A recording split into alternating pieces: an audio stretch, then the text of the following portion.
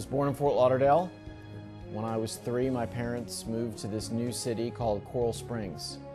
And I grew up in Coral Springs, attended public schools. and went to Hunt Elementary, uh, Ramblewood Elementary, Ramblewood Middle, and Coral Springs High School. Going to high school in ninth grade, how exciting that was. I was in the band.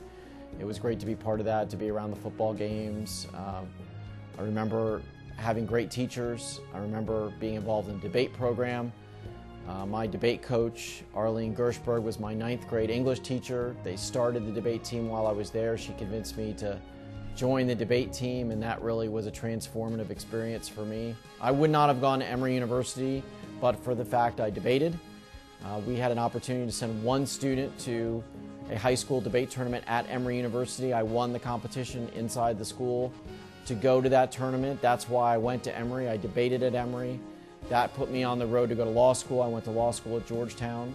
So really debate and also being in band because band gave me leadership opportunities. I was the drum major my senior year and I got to lead a band organization of 300 people and that plus the critical thinking school skills and the speech skills from debate, that combination really kind of set me on the right track for life. Well, education is the most important thing that I can think of. It's a great civil liberty that we provide to people. It's a ladder up, like I said in my experience. You know, we didn't uh, grow up with a lot of money. Our first house in Fort Lauderdale was 800 square feet. My mom and dad didn't go to college, but they always supported me.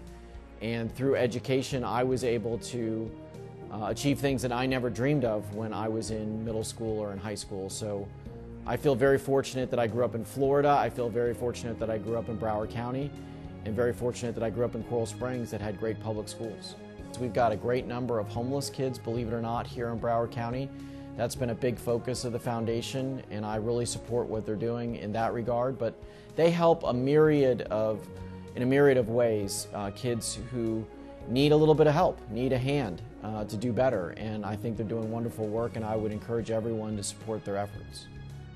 Debate is a game changer for our kids when they have the opportunity to prepare, research, organize their thoughts, critical thinking skills, and then present, it's amazing to see how they flourish and blossom from debate. Congratulations, George. You are so deserving of this honor.